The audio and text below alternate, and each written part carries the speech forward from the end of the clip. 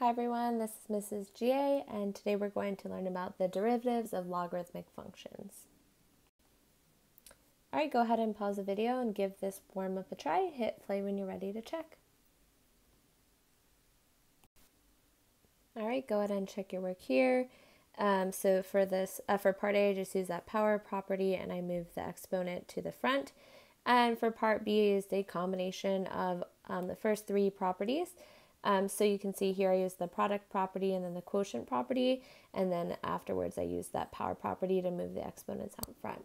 Um, so just remember when you're expanding a logarithm, any values that are in the numerator uh, will end up as positive logarithms, and any values that were in the denominator end up as negative logarithms. And notice you cannot expand the sum, um, a logarithm of a sum. It only works for the logarithm of a product or of a difference. All right, so let's start um, by seeing if we can find the derivative of y equals log base b of x. Um, so first, we can rewrite this logarithmic equation to help us solve for x. So just by the definition of a logarithm, we know that this means b to the power of y equals x, or we can say x equals b to the power of y.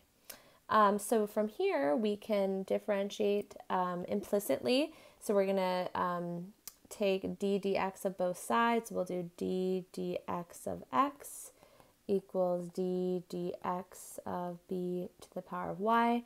Um, so the derivative of x is just 1. And then here we're going to need to use a chain rule. Um, here we'll use our exponential rule first for our outer function. So we get b to the power of y times natural log of b and then we need to multiply that by the derivative of our inter uh, of our inner function, which is just y prime, or dy dx. And then we just need to solve for y prime, so I'll just divide by everything that is not y prime. And then we would like to have this derivative in terms of x, um, and then we can actually do this by replacing b to the power y with x, because here we see that b to the power y is equal to x. So our derivative of log base b of x is simply 1 over x times the natural log of b. Um, so you can see that x is the value inside the logarithm, and then here you have the value of the base of your logarithm. So here are our differentiation rules for logarithmic functions. Um, this first one is what we just showed. So the derivative of log base b of x is 1 over x times the natural log of b. And then the derivative of the natural log of x is equal to 1 over x. Um, notice I did put these absolute value signs around our x because remember this value within a logarithm must be positive. Um, that also is the rule for the base of our logarithm. Um, so if you see a negative value, just assume, if you see the natural log of negative x, just assume that x is negative, so the resulting is positive. Um, but our derivative is simply 1 over x. All right, so let's see if we could give a couple of these a try together. Um, so here we're to find y prime. So we'll need to use our chain rule. Um, so first, the outer function is the log base 2 function. So we do 1 over x, which in this case is 3x plus 1, times the natural log of our base, which is 2. And then to complete our chain rule, we need to multiply by the derivative of our inner function, which is simply 3. Um, so y prime is 3 over 3x plus 1 times the natural log of 2. All right, let's look at um, part 2 together, or part B. Sorry, this isn't labeled. Um, so for this one, we need to use our chain rule again. However, this time our outer function is actually our exponential function and the inner function is the natural log function. So we're going to start with our exponential rule here. So it's 3 to the power of natural log of x um, times the natural log of our base, which is 3. And then we need to complete our chain rule by taking the derivative of our inner function. And the derivative of natural log of x is simply 1 over x. So again, all of this is the derivative of our um, exponential function with the base 3. And then this is the derivative of the inner function, which is our natural log function. Um, and then this, we can just rewrite it as 3 to the power of natural log of x times the natural log of 3 all over x.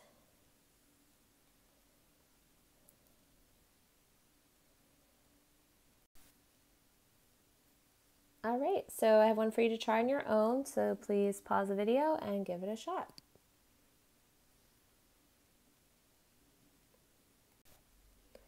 All right, so here we do need to use our chain rule. Our outer function is our natural log function, so it's simply 1 over x, but we're maintaining sine of x for x. And then the derivative of our inner function, which is sine, is just cosine. And then if you simplify that, you end up with cosine of x over sine of x, which is the cotangent of x. All right, let's give another one a try together. So here we have y equals the natural log of x to the fourth times sine squared of x. So um, to find this derivative, well, first of all, we're going to need to use the chain rule um, because we have something inside our natural log. So we can have 1 over x to the fourth times the sine squared of x. But then when I go to find the derivative of the inner function, we have to do product rule in here. And we have to do the chain rule um, for our sine squared of x. So this one, a um, lot to keep track of here. So to do our product rule, it's the first function times the derivative of the second using our chain rule. So we'll do the power rule first, 2 sine of x times cosine of x, which is the derivative of the inner function, plus um, the second function, sine squared of x, times uh, the derivative of the first, so 4x cubed.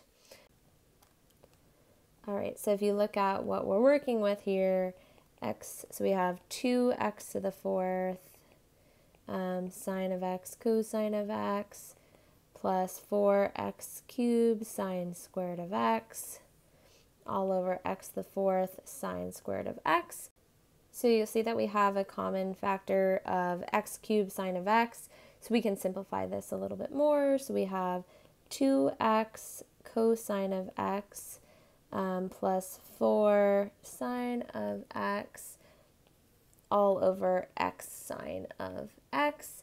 Um, and then this, if we wanted to simplify even more, we could split this up into two separate um, fractions. And we can um, simplify from here. So this would give us 2 times the cotangent of x um, plus 4 over x. So this is certainly one way we could find our derivative. We just really need to be careful because, again, it's the chain rule and the product rule with the chain rule again inside. So there's definitely a lot to keep track of. Certainly not an easy problem. However, we do have another way we can go about this because um, this is a logarithmic function. Um, and we can actually um, expand this um, expression using our properties of logarithms, and you'll see that in doing so, the problem becomes much, much, much easier. So let's see, at first if we can again expand our function, so we have um, the natural log of x to the fourth plus the natural log of sine squared of x, so I use my product rule there, and now we can use our power rule to rewrite like this. Um, I do want to remind you that sine squared of x just means the sine of x squared. So you can just move this exponent right out front.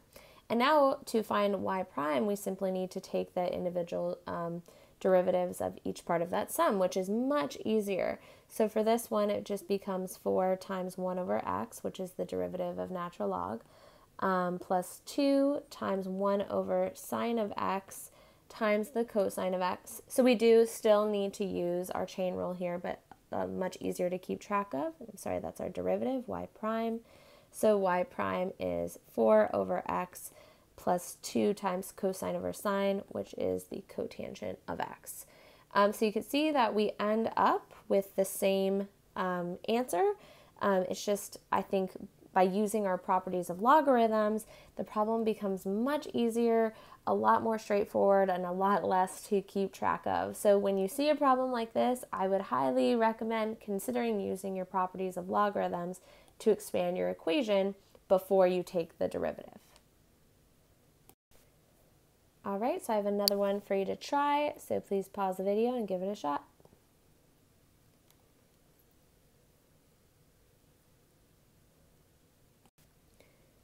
All right, go ahead and check your work here. Um, so first I expanded using our quotient and then power uh, properties of logarithms.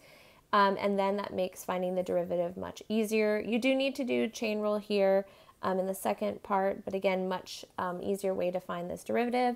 And then just to simplify our derivative, I um, combined the two fractions by creating a common denominator and I simplified.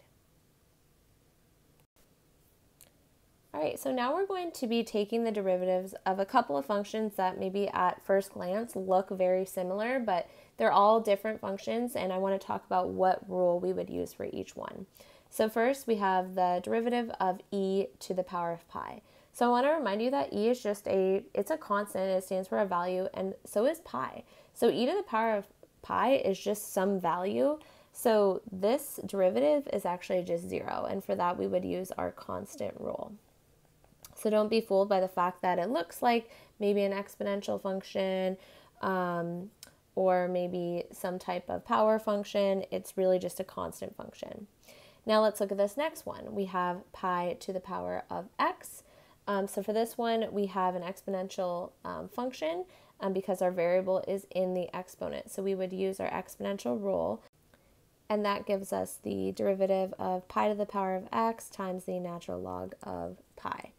And again, that's our exponential rule.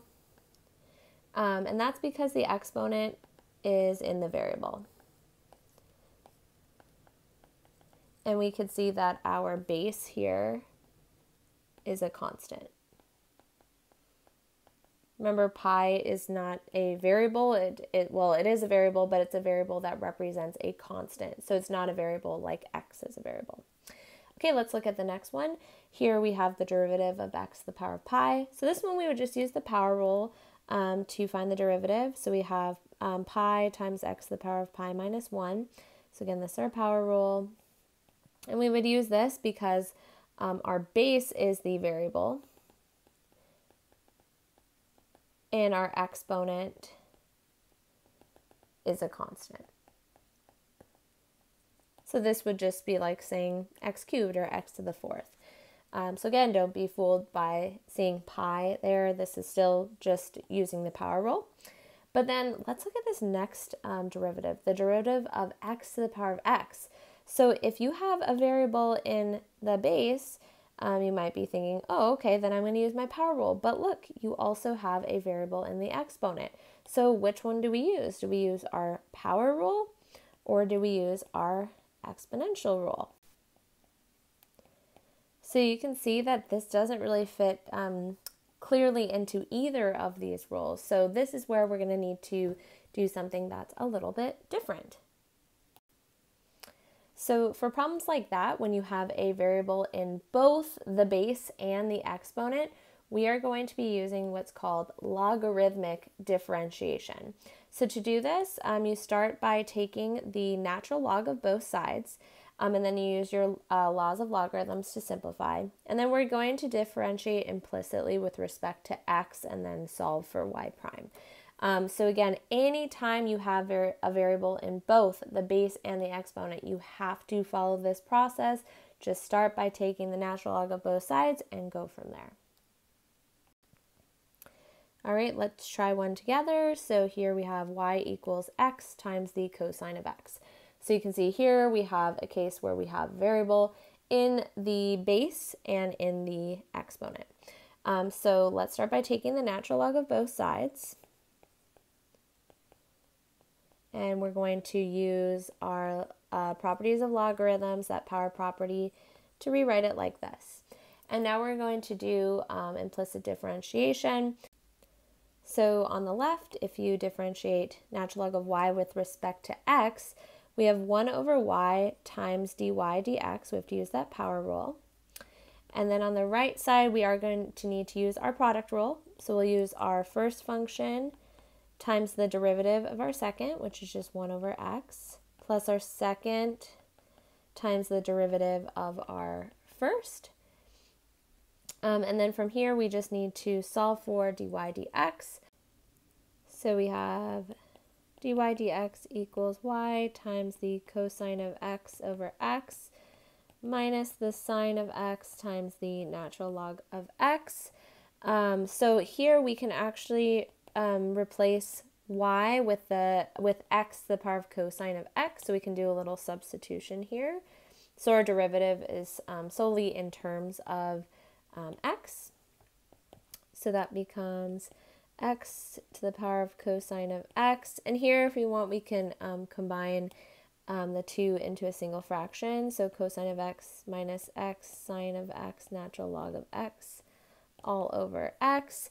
And then if you'd like, we can also move um, this denominator out into uh, the front. So our derivative dy dx would be x to the power of cosine of x over x times the cosine of x minus x sine of x natural log of x. And then um, because here we do have the same base, we have base x, we can use our properties of exponents and um, we can divide by subtracting our exponents. So an extra little step just to simplify it a little bit more. So it actually becomes x to the power of cosine of x minus 1. Because remember, this x has an exponent that is 1 times the cosine of x minus x times sine of x times natural log of x. So there's our derivative. And again, to find this derivative, we had to use our logarithmic differentiation, which we will always use anytime we have a variable in both the base and the exponent. All right, so I have one for you to try on your own. So go ahead and pause the video and hit play when you're ready to check.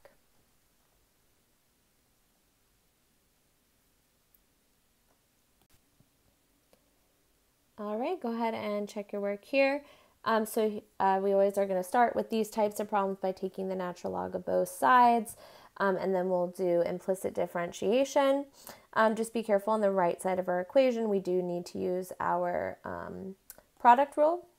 Um, so we have the uh, first times the derivative of the second, and you do need to use the chain rule here, plus the second times the derivative of the first, which is just 1. And then from here, we um, solve for dy dx. And I substituted y with the sine of x to the power of x. So our derivative is um, fully in terms of x. So it turns out that logarithmic differentiation is not only um, useful for when you have a variable in the base and the exponent, but it can also make some problems like this much, much, much simpler. Um, so if you look at this problem and you think about what you would need to do um, to start it, well, we would need to use our um, quotient rule. And within that, we would also have our product rule and our chain rule. And it just gets really ugly and complicated really fast. Um, now, you could do it without using logarithmic differentiation, but when you have a problem like this that you know, has a lot of different terms in the numerator and denominator, try using logarithmic differentiation. So take the natural log of both sides. So we have the natural log of all of this. And then you'll notice this is that same um, expression as in the warm-up. Then when we start to um, expand this, we end up with 3 fourths times the natural log of x plus 1 half times the natural log of x squared plus 1 minus 5 times the natural log of 3x plus 2. So I used my product, quotient, and power properties of logarithms. Um, so to differentiate this, I think it's much easier than working with the original function. So we do need to do implicit differenti differentiation. So 1 over y times y prime.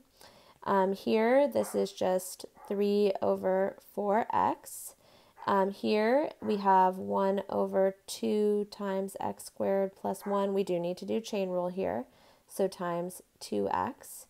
And then here we have 5 over 3x plus 2, and then we do need to do chain rule again, so times 3. Um, now we just need to solve for y prime. Um, so we have y, y times 3 over 4x plus here, the 2's will simplify out, x over x squared plus 1 um, minus uh, 15 over 3x plus 2. Um, and then we could simplify, we could replace the y with our original function, which does, you know, it does look pretty ugly, but that's what we need to do. Um, so x to the power of 3 fourths times the square root of x squared plus 1 all over 3x plus 2 to the power 5 times 3 over 4x plus x over x squared plus 1 minus 15 over 3x plus 2. Then, of course, we could, you know, create a common denominator here um, to simplify further, but I think for this, you guys get the point um, that using um, logarithmic differentiation actually makes this problem much, much, much easier. If you look at what our answer is, imagine using this route to get there. Okay, so just keep in mind that sometimes this is a tool that you will want to use. So just to summarize, um, you have to use um, logarithmic differentiation when you have a variable in both the base and the exponent but you can choose to use logarithmic differentiation in some cases, um, especially cases where you have um, a complicated quotient with products within. Um, so just again, remember that this is a tool that you now have in your, in your toolkit, um, and it might be beneficial sometimes to use it. All right, um, so that is all for today's lesson. Thank you so much for watching.